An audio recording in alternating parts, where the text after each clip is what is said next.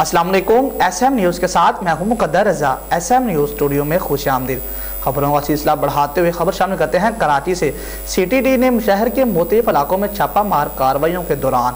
M Q M London کے پانچ مبینہ ٹارگٹ کلرز کو گرفتار کر لیا اور D I G C T D Umar Shahid کے مطابق گرفتار مبینہ ٹارگٹ کلرز اجمل پہاڑی اور کاشف ڈیوو کے قریبی ساتھی ہیں۔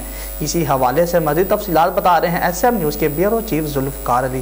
جی ذوالفقار علی، بتائیے گا کیا تفصیلات ہیں آپ کے پاس؟ جی بالکل، D I G C T D Umar Shahid کے مطابق گرفتار مبینہ ٹارگٹ کلرز اجمل پہاڑی اور کاشف ڈیوڈ کے قریبی ساتھی ہیں۔ D I G C T D Umar Shahid کا کہنا ہے کہ گرفتار ملزمان بھارتی خفیہ جنسی راہ سے تربیت بھی حاصل کر چکے ہیں۔ انہوں کا کہنا ہے کہ گرفتار ملزمان پولیس اہلکاروں کی کلنگ سمیت دیگر سنگین جرائم میں ملوث ہیں۔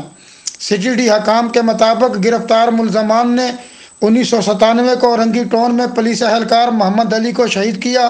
دو ہزار پانچ میں سنی تحریک رہنما امجد پرویز کو قتل کیا۔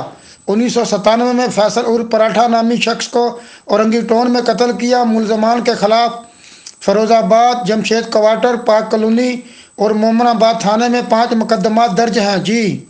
بہت شکریہ ذوالفقار تفصیلات سے آگاہ کرنے کے لیے۔ مزید خبروں کے لیے دیکھتے رہیے ایس ایم نیوز